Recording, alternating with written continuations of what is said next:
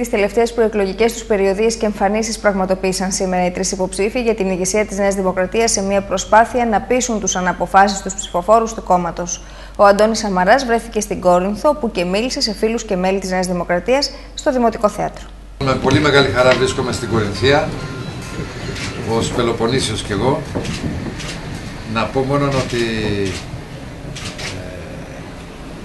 φτάσαμε στο τέλος αυτής της πορείας μια πορεία η οποία έχει να κάνει με μια εσωτερική άμυλα και δεν έχει να κάνει καθόλου με μια εσωτερική αντιπαλότητα. Οι αντίπαλοι είναι τα απέναντι στρατόπεδα άλλων ιδεολογιών.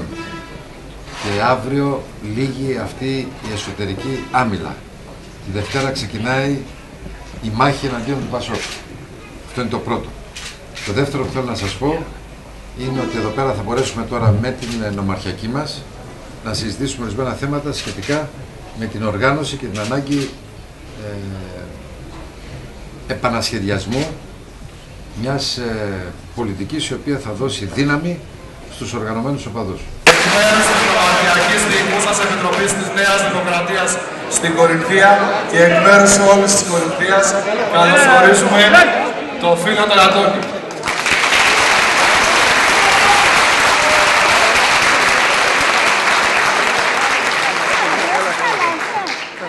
Θέλω σήμερα να πω σε όλους εσάς αυτή τη μεγάλη συγκέντρωση εδώ στην Κόρινθο ότι οι εκλογές της 29ης Νοεμβρίου είναι μεγάλη μέρα για μας.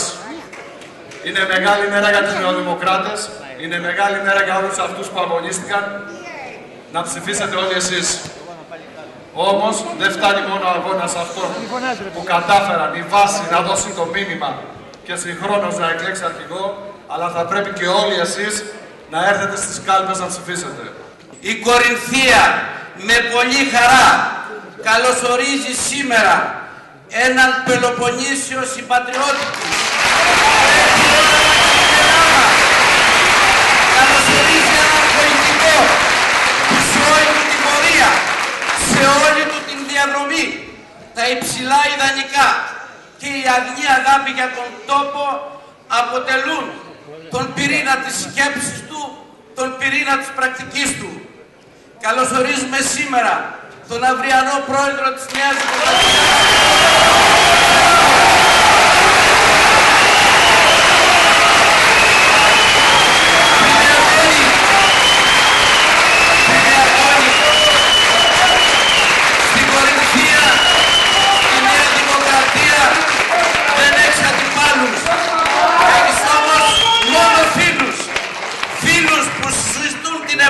Επόμενη μέρα από την θέση του Προέδρου της Νέας Δημοκρατίας να διασφαλίσει εγγυητής την ενότητα, την ελεγγύη και την ομοψυχία.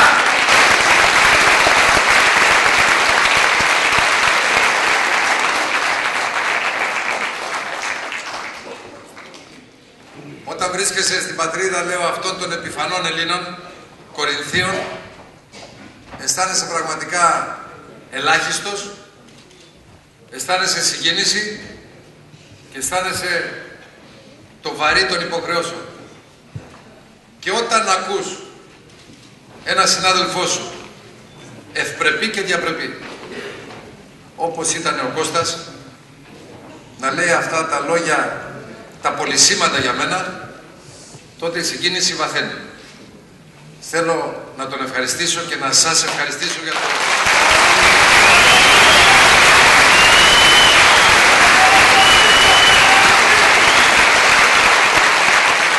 Θέλω να ξέρετε ότι το δικό σας μήνυμα είναι το μήνυμα της ελπίδας.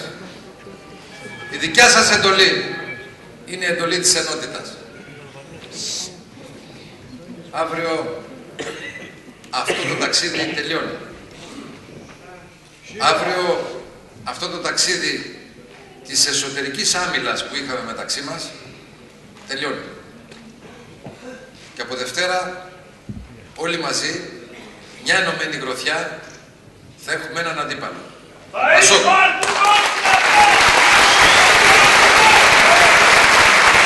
Αντίπαλο το πολιτικό και το μόνο του Πασόκ. Εσωκομματικό αντίπαλο. Πραγματικό αντίπαλο. Ας το αισθανόμαστε σαν Πελοπόννησος όλοι μαζί, έτσι, και Καλαμάτα και... Στο κομματικό αντίπαλο, λέω, δεν έχουμε κανέναν. Και εγγυητής της ενότητας είναι ο κόσμος. Είναι αυτή η φωνή της βάσης. Ε, καταρχάς θα ήθελα να καλέσω όλο τον κόσμο της Νέας Δημοκρατίας, ψηφοφόρους, οπαδούς αλλά και φίλους, να πάνε αύριο στην κάλπη. Ε, δίνει τη δυνατότητα σε όλους μας, σε όλο τον κόσμο, να αποφασίσουν για το ποιον θέλουν για αρχηγό, για πρόεδρο της Νέας Δημοκρατίας.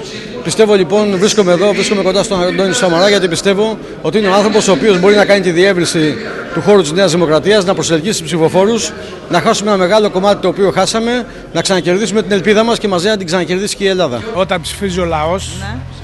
όλοι είναι υποχρεωμένοι να υπακούσουν στις εντολές που θα δώσει.